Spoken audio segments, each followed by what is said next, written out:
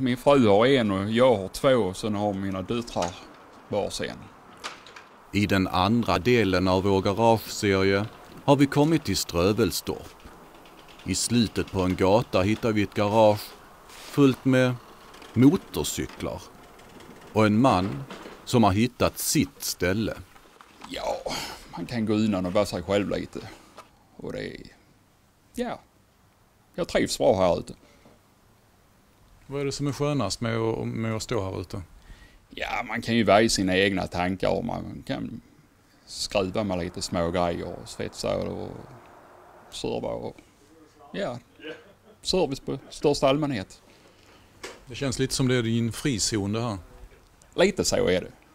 Har du stort motorintresse eller är det just motorcyklar?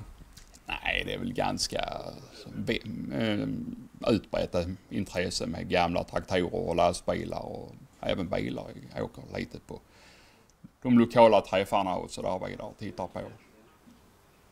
Framförallt pärlrallyt på eh, hösten med lastbilarna. Det är, det är trevligt.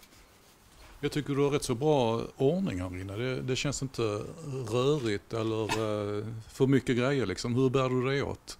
Ja, det undrar jag också. ja, det, på något vis har man väl lyckats men... Finns det några knep? Nej.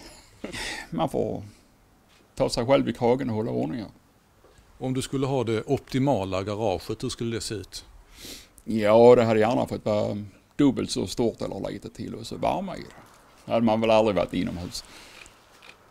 Är det så du går hellre ut här än att sätta dig vid tvn? Ja, sätter man sig vid tvn somnar man ju bara. Är ju så.